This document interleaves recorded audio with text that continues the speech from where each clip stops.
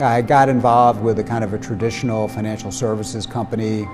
did uh, that kind of work for a few years, and then as much as I love the, the financial, well, always been interested in, in financial matters, the, uh, there were a lot of aspects of the traditional financial world that were uh, off-putting, to say the least, to me, and I started quickly to look for some alternatives. So after a couple years, I started branching out and starting to uh, uh, incorporate uh, values into the investment work and financial planning work. Between sustainable and wealth, there are two words with a lot of different meanings and different, uh,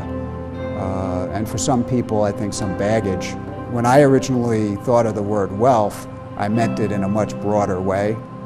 not just how much money somebody has or doesn't have, but how, how rich their life is. When, when I talk about sustainability, I think about uh,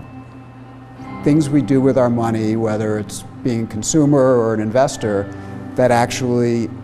in some meaningful way, leads to a more sustainable and just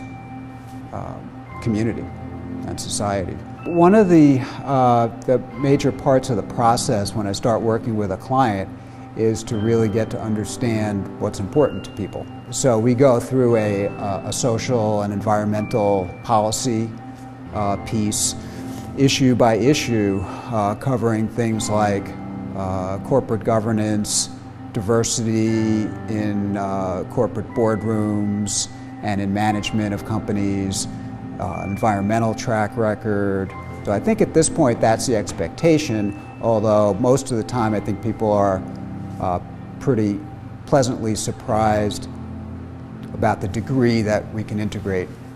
all that into the, into the mix. What's exciting to me when working with people is to know that I've been able to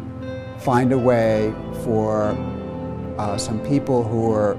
typically very skeptical of the financial establishment and who have many times really stayed uh, out of it and gotten had as little involvement as possible, often to their own detriment, uh, since there are things we all need to do to take care of our long-term uh, financial future. Um, so when I know that I've been able to make a difference and find a way to help somebody connect their values, align their values with their money, so they're comfortable taking uh, taking these steps, or otherwise they were kind of uh, just on the sidelines. Um, I feel good about that.